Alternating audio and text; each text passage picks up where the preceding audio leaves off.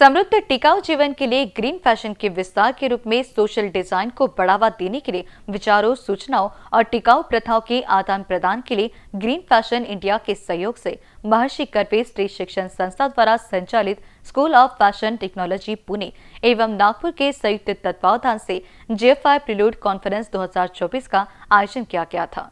गौरतलब है कि महर्षि कर्वे स्त्री शिक्षण संस्था द्वारा छात्राओं के सर्वांगीण विकास एवं वैश्विक प्रतियोगिता के लिए क्षमता बढ़ाने के उद्देश्य से विभिन्न कार्यक्रमों का आयोजन किया जाता है। इसी अनुरूप इस बार भी जेएफआई प्रेरूड कॉन्फ्रेंस 2024 का आयोजन किया गया था। समृद्ध टिकाऊ जीवन के लिए ग्रीन फ़ैशन के विस्तार के रूप में सोशल डिज़ाइन को बढ़ावा देने के लिए विचारों, सूचनाओं और टिकाऊ प्रथाओं के आदान प्रदान के लिए मंच का नेतृत्व करना है। फ़ैशन को अधिक जिम्मेदार और टिकाऊ बनाने के लिए इस फ़ैशन समुदाय को तैयार करना आवश्यक है। जिसके चलते ग्रीन फ़ैशन समिति कार्य कर रही है। उसी के सहयोग से जीएफआई प्रिल्यूड कॉन्फ्रेंस 2024 के माध्यम से कमेंस कॉलेज में प्राकृतिक चीज़ों का वैश्विक विकास में सहयोग स्थापित किया गया। जहाँ सुबह 10 बजे कार्यक्रम का उद्घाटन किया गया, जिसके बाद ग्रुप कन्वर्सेशन पैनल डिस्कशन और कंज्यूमर अवेयरनेस सेशन का आयोजन किया गया था। वही शाम सात बजे ग्रीन फ़ैशन शो किया गया, जहाँ छात्राओं ने परंपरागत एवं प्राकृतिक हैंडलूम से बने वस्त्रों का प्रदर्शन किया। इस समय मुख्य अतिथि के रूप में मौजूद राजीव रंजन ने अपनी प्रतिक्रियाएँ साझा की। नहीं, मेरा नाम राजीव रंजन है। मैं मुंबई यूनिट टेक्सटाइल एसोसिएशन का प्रेसिडेंट हूँ।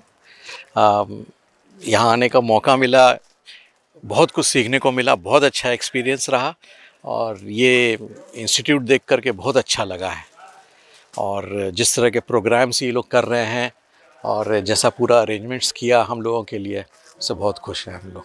This institute has a very bright future and all the best to them ये uh, आज जो था ये हमारा एक्चुअली एक प्रिल्यूड था। इनका जो मेन कॉन्फ्रेंस होने वाला है ग्रीन फ़ैशन इंस्टीट्यूट का उसका प्रिल्यूड था। उसमें हम लोगों ने एक्चुअली ब्रेन किया है कि उसके लिए क्या मेन पॉइंट्स हम लोग सेटअप करेंगे अगले कॉन्फ्रेंस के लिए। तो उसके लिए सब लोगों ने ब्रेन करके कुछ पॉइंट्स बनाए हैं, जो कि हम अगले कॉन्फ्रेंस में रखेंगे, उसमें पैनलिस्ट जा करके फिर उस ग्रीन फ़ैशन उपभोक्ताओं के स्वास्थ्य और फ़ैशन उद्योग में लोगों की कामकाजी स्थितियों पर विचार करता है। स्टेप यानी सस्टेनेबल टेक्नोलॉजी एजुकेशन प्रोजेक्ट के अनुसार ग्रीन फ़ैशन इंडिया का लक्ष्य एक प्रमुख मंच की स्थापना करके कपड़ा और फ़ैशन उद्योग में परिस्थितिक जागरूकता बढ़ाना है, जो लगातार अनुसंधान की सुविधा देता है और ग्रीन फ़ैशन को बढ़ावा देता है। उसी अनुरूप महर्षि कर्वे स्त्री शिक्षण संस्था द्वारा संचालित school of fashion technology Pune एवं नागपुर के संयुक्त तत्वावधान से एक सराहनीय कदम उठाया गया है, जहाँ इस आयोजन के विषय में कार्यक्रम में मौजूद टेक्सटाइल एसोसिएशन के अध्यक्ष विलास गुप्ते ने सराहना की है। मी विलास चंद्रकांत गुप्ते टेक्सटाईल असोसिएशनचा चेअरमन आहे आणि आम्हाला इन्व्हिटेशन दिलं गेलं. आणि आम्हाला वी फेल्ट ऑनर की आम्हाला या कार्यक्रमाला बोलवलं. कार्यक्रमाचं संबंध अरेंजमेंट आणि कंप्लीट रूपरेषा इतकी छान आणि व्यवस्थित शिस्तीत केली होती की म्हणजे असं कुठेही आम्हाला बघायला मिळालं नव्हतं. पॅनल डिस्कशन झालं सुरुवातीचा इनॉग्रल प्रो प्रोग्रॅम झाला आणि नंतरचं हे सगळे व्हिजिट्स झाल्या. म्हणजे खरंच कौतुकास्पद आहे की ह्या अशा इन्स्टिट्यूटमध्ये ह्या टाईपचं अरेंजमेंट केले जाते. हां इथे जे स्टॉल होते हँड हँडलूम आणि ह्याचे ते पण चांगले होते. म्हणजे मला मोह आवडता आला नाही. मी पण बरंचसं खरेदी केलं त्यांच्याकडनं. तर त्यामुळे मला खूप बरं वाटलं की काहीतरी वेगळं आणि नवीन मिळालं. School of fashion technology Pune एवं नागपुर के संयुक्त तत्वावधान से जेएफआई प्रिलोड कॉन्फ्रेंस 2024 के माध्यम से ग्रीन फैशन के बारे में शिक्षित करने रुचि जगाने और जागरूकता पैदा करने के साथ साथ उन उद्यमियों ब्रांडों कंपनियों को सम्मानित करने के कार्य किए जा रहे हैं, जो इस सामाजिक कारण में महत्वपूर्ण योगदान दे रहे हैं। और यह आयोजन यकीनन अभियांत्रिकी क्षेत्र में क्रांति लाएगा, ऐसी प्रतिक्रिया सिंपल देशी कंपनी की अध्यक्ष मधुबाला सापू और school of fashion technology Nagpur के प्रबंधकीय सदस्य हेमंत अंबाशिलकर ने दी।